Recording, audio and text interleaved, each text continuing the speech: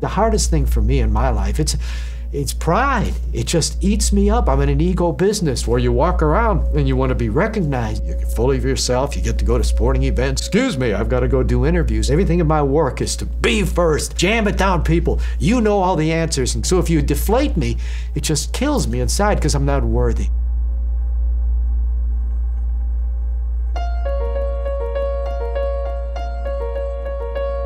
I wasn't born in this country. My parents are Russian. During World War II, my father was in the Russian army, was captured by the Germans. And he met my mother in a refugee camp in the southern part of Germany after World War II.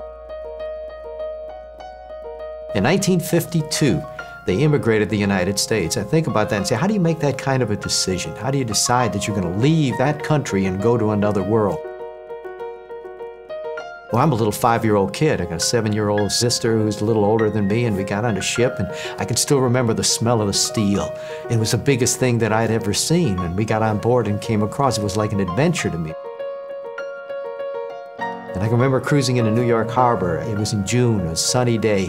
I remember seeing the Statue of Liberty. Didn't have any idea what it was, but saw it, looked at it. A lot of people were lying on the deck and a lot of crying. My dad told me afterwards because they were concerned. How, what are you going to do in this land? I remember going to school in kindergarten. I'd come home crying about every day because I didn't know how to talk English and thought the kids were laughing at this dumb little foreign kid. My mind was out the window. My parents would keep saying to me, Rudy, why can't you get grades like your sister? Why can't you study? And education was key to them. Not all of us, but a lot of us, one of two things happens. That uh, we get in those formative teenage years, and either somebody, and, and, I had a coach or parents without knowing it, would say to me, What's wrong with you? You never amount to anything. Or a coach, You can't play a lick. You don't have any guts. What's wrong with you? You can't get into the game. Get somebody else in here. And it, boom, it sinks down inside of you. Or else, if you're fortunate, somebody says to you, You're magnificent. You know, mathematics and your music flies from you. You're going to be great someday. And I've realized at this point, it's not all of us, but there are a lot of us that have spent the rest of our lives trying to either prove somebody right or prove somebody wrong. I think I've tried to prove somebody wrong ever since. I flunked out of college after a year, wasn't smart enough thought. Went in the military for four years. Came back and took a radio production course. I thought that'd be so interesting. I knew I wouldn't be good enough to be a professional athlete, but if I could be around him in broadcasting, I finished four years of college in three years. I think I was trying to prove somebody wrong again. I got a job in Green Bay, Wisconsin. I wasn't even in news. I helped a little bit, and then after a year or so, a year and a half up there, the sports director quit. And I thought, ooh, you know, I'm making $8,000 a year. And they said, well, we're caught off guard, so why don't you fill in for a little bit of time? And I did. And after a month, they had a consultant group watch, and they called me into a room, and these two guys sat me and said, Rudy, why don't you get out of broadcasting? I mean, you're a nice guy, sales. You're not. You're just not suited for broadcasting. Boom. There again, not good enough. What's wrong with you? Why can't you study? All of this sort of stuff inside of me. So I didn't want to take no for an answer. Sent out tapes, and one of them was to Nashville, Tennessee, and they hired me. And I thought, this is my career. This is where I'm going. It's kind of neat. People recognize you. I was 31 years old. I was so busy trying to be somebody. I was married, and I wasn't spending any time at home. I was so busy that my wife and I separated. You know, I was too immature, or for whatever reason, it just broke me.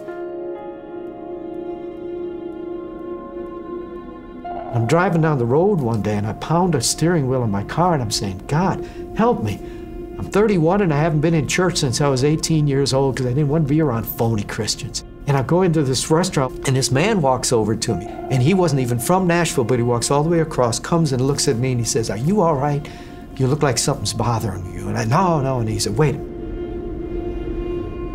And he sat there and he told me about hope, told me about a God who loved me, a Jesus Christ who had died for me. These things that I'd heard way back then, these seeds that had planted when I was back in grade school and high school, none of it was alive. And all of a sudden, boom, it's hitting me right between the eyes.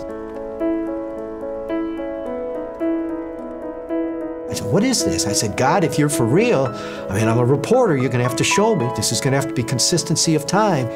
And all of a sudden, I began to listen to other people, and I began to look at other people.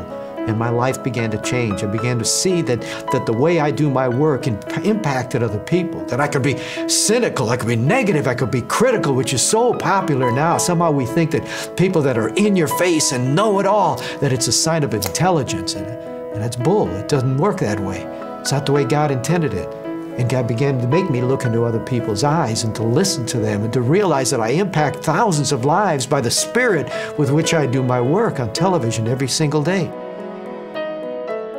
I've realized that the more I've grown in Christ, the more my life is diametrically opposed to what's considered successful in this business.